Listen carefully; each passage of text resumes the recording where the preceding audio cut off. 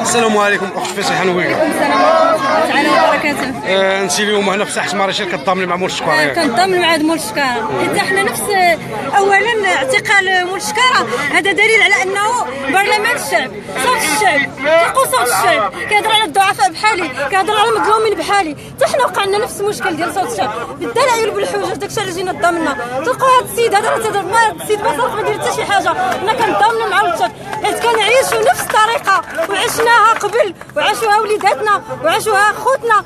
إحنا كنرفعوا هذا الظلم هذا هذا السيد دليل على انه صوت الشعب صوت البرلمان. راه ماشي شفار راه صوت الشعب. لأن حتى حنا كنعيشوا هذا الشيء. كنعيشوا هذه المعاناة يوميا. وكنتحدى أي مواطن كيسمعني دابا إلا ما كانش كيعيش هذه المعاناة. وكنتحدى الشعب المغربي كامل يقول بأن هذا الشيء ما كاينش في مراكز الشرطة.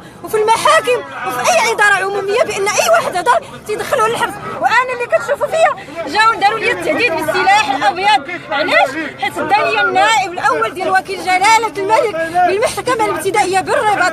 داليا بنتي 99 وداليا جوج وليدات. واعتقلني أنا وما كنت باقا صغيرة. واعتقلني وداليا بنتي وما عاشش معايا بنتي 17 سنة.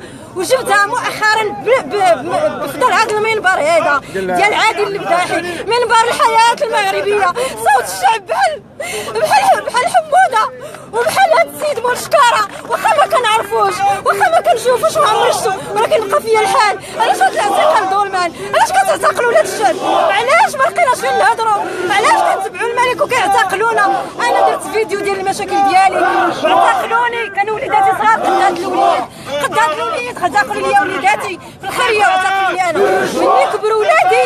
اعتقلوهم حتى هما. ويكونوا كاع عباد الله؟ صوت الشعب. الشكاره راه ماشي شفار صوت الشعب. ما لقيناش فين نعبروا. ما لقيناش فين نشكيو. حنا أنا تظلمت. ما لقيت حتى شي واحد يسمع ليا ما لقيت حتى شي إذاعة تسمع ليا ما لقيت حتى شي منبر إلا منبر الحياة المغربية. وكنتمنى ربي يحفظ منبر الحياة المغربية. وكنتمنى يكثر ربي بحال منبر الحياة يكثروا المنابر بحال منبر الحياة يتفتحوا المفسدين يتفتحوا الخونه والظالمين. كنطلب من صاحب الجلالة يفتح الحقيق القضية ديال فاتحه النويقه أنا عندي قصة ماشي مشكل. عندي قصة كنعيش فيها من 99 أنا حيدوا لي بنتي وبنتي كبرت ما كتعرفنيش. هذا المنبر هذا هو اللي جاب لي بنتي هو اللي وراني فين كاينة بنتي. وعباد الله واش بحال هاد المنابر كيتشدوا في الحبس؟ وعباد الله شكون عارف مع الفاتحه إلا ما سمعوش لها بحال الشكاره بحال عادل الداحي أنا كنضامن مع الشكاره كنضامن معاه بالحبس بالموت باي حاجة حيت كنعيش نفس المعاناة وكنعانيها بالدليل. دا كنوريهم الدليل وكناشد الحقوقيين وكناشد صاحب الجلاله وكناشد أصحاب الضمائر الحيه آه، الأخوان المتتبعين اللي كيتبعوا معنا هذا اللايف هذا هذا المباشر آه، من الصفحة ديال عادل البداحي معكم في الطومي عبد الغني. آه، القضية ديال فتح نويقة. تتنفي أنه كاين اسم دولة عندنا دولة دولة ديال دولة دولة الحق والقانون أو حكومة سميتها العداله والتنمية أو عندنا قضاء مستقل أو عندنا مسؤولين نزهاء أمام قضية ديال فتح نويقه اللي كتعاني واحد المعاناة سنين طويلة لدرجة بنتها ماشيه حتى 17 عام. المغاربة الضمائر الحية. هاد المرأة هذه راه أمانة في رقبتكم إلى يوم القيامة. كملي الأخت فاتحه ولادي عباد الله في الشارع العام وضربوا واحد مسؤول ضرب ولدي بجنوية في اكدال في الرباط حدا ماكدونالد الكاميرا كتشوف. بغيت كصاحب الجلالة. دير بحث على هذا الشيء. ولدي ضرب ولد مسؤول كبير بجنوية ضربوا في الجهه ديال الشمال وتهز ولدي للإنعاش وراه مازال كيعاني. واحد ضرب واحد ومشاو ليه عينيه والدري وهذا هاد التصوير هذا عندي عندي عندي كثره الصور علاش ما تشدوش هادو كتشدوا غير اللي ما دايرينش. بغيت تفتح تحقيق صاحب الجلالة في القضية ديالنا ما عزكوش ولا بغيت لجوء سياسي. بغيت لجوء سياسي. ما بغيتش نعيش في الدولة ديال القمع. ما بغيتش نعيش في الدولة اللي ما كتعطيش الحق للمواطنين ما بغيتش في الدولة. أنا عندي قصة. ماشي مشكل. عندي قصة. وها هما الوراق والحجاج عندي قصة. يا صاحب الجلالة. أنا ما كنديرش الفتنة. أنا ما دايراش الفتنة. أنا مظلومة. كسر مول الشكارة. حتى أنا داروا لي العرقله بالسلاح حيت النائب وكيل الملك جلاله الملك والمحكمة الابتدائيه بالدنيا بنت عندها ربع شهور وعباد الله شكون هذه اللي غتصبر على بنت. من ربع شهور حتى 17 سنة. ولقيت البنت بفضل هذا المنبر هذا. ديال عادل البداحي هو اللي جاب لي بنتي من بعد 17 سنة. من بعد ما اعتقلوني وداوني للسبيطار الحماق بإنني حمقى. مردوني وكلوني السحور كنشدوا الكوميساريه ما كنلقاش شنو ناكل كيجيبوا ليا. بلا ما نبدا نزيد نهضر بغيت تفتح تحقيق هذه القضية. أنا ماشي مول الشكاره أنا عندي قصة كثر ديال مول الشكاره تعتقلت جوج مرات في الباطل شردوا لي وليداتي ضاعوا وليداتي. بنتي حتى هي ما كتعرفنيش راه رجعت مشات رجعوا داوها بالطريقة ديالهم. علاش؟ حيت بنتي تغتصبت في الخيرية. ويك ويك عباد الله. بنتي عاشت 17 سنة بلا بيا. تغتصبت في الخيرية. الله يحفظك باقش فاتحة؟ انت رديتي البنت ديالك خديتيها من الخيرية. رديتها رجعت دابا البنت ديالك فين هي؟ دابا بنتي على حساب اللي عيطت لي في التليفون. قالت لك راه شدوها البوليس وشدها النائب ديال وكيل جلاله الملك اللي دعا ليا في الأول. وقال لي أمك راه لحتك أنا ما لحتهاش أنا ما لحتكش سلمى. آه، علاش علاش كيعتقلوا فاضحين الفساد أنا ما لحتش بنتي. حالا قدامكم الإخوان. أنا ما لحتش بنتي.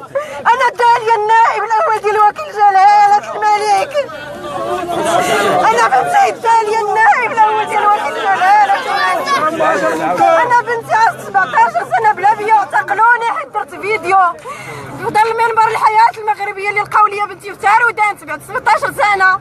واعتقلوني أنا أنا بأربعة الوليدات اعتقلوني ما درت حتى شي حاجة داريني أنا مشيت نشوف ولادي في الخيريه من حيدهم ليا. جات وحدة عندها اسم عائلي معروف في الرباط وقالت بينا ضربتيها وداروا لها شهادة طبية. هما نيت نفس البوليس ما داروا لها شهادة طبية اعتقلوني قال باش نحيدوا هاد السيدة ما تبقاش تعرض لنا الملك. ما تفضحش هاد الشيء. أنا كنعاني أنا مريضة بالسياتيك 17 سنة كنت صحيحة وكنت صغيرة ومرضت. أنا وديت بنتي حيت بنتي ما عارفاهاش ما عارفاهاش كيفاش تربات. ما عارفاش أش وقع ليها على حسب اللي كتحكي تعتسبت ولا حد الآن ما بغيتش نسكت على الظلم د بنتي. وباقي كيتعداو عليا. وباقي كيتكرسوا عليا. وباقي كيجيبوا لي استدعاءات خطيرة. أنا ما كنديرش هذا الشيء. أنا بغيت بحث من صاحب الجلالة. ولا بغيت لجوء سياسي.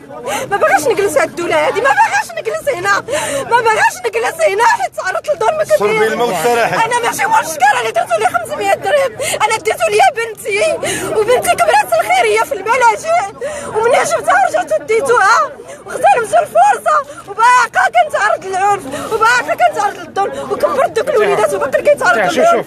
أنا تعرضت لمشكل كبير. الرسالة الأخيرة اسمع الرسالة الأخيرة اللي ممكن توجه للملك ولا للمسؤول. شربي بعدا شربي بعدا شربي بعدا شربي بعدا كنوجهها شربي للملك. إخوان سمعتوا ياكم يلا صنطوا وملي تساليو وسعوا الحلقية.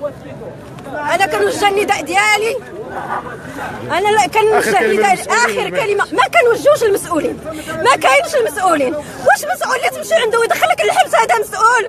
واش مسؤول اللي, انت عايشة معاه 30 عام وتعرفك شنو كتسوي ويدخلك للحبس بتهمه وأنا ما عمري ارتكبت ديك ديك التهمه هما يشوفوا هذا الشيء ويواجهوني. أنا دابا غادا نركب في الكار. ويجيو يتعرضوا لي غادا في الكار ما غاداش في الدار أنا عطيتكم حتى فين غادا وجاو تعرضوا لي يقولوا لي هذا الشيء ما كاينش. وتعرضت لسيدنا شحال مره وهنا في الدار البيضاء هنا في الدار البيضاء جيت تعرضت لي شحال مره باغا غير حقي ما باغا حتى شي حاجة ما باغا جريمه ما باغا دار ما باغا وسام ما باغا بلبله ما باغا فتنة. باغيت حق وليداتي ولحد الآن وليداتي باقي مجهولين. الولد عنده 22 سنة وباقي ما عندوش الحالة المدنية. وأنا بالعقد ديالي أنا أنتم عباد الله بالعقد ديال الزواج ديالي. أنا ماشي مول الشكاره اللي تهمته أنا راه ما نسكتش واخا تعتقلوني. ما سكتاش. أنا براقي يا عباد الله. أنتم كتشوفوا بالعقد ديالي.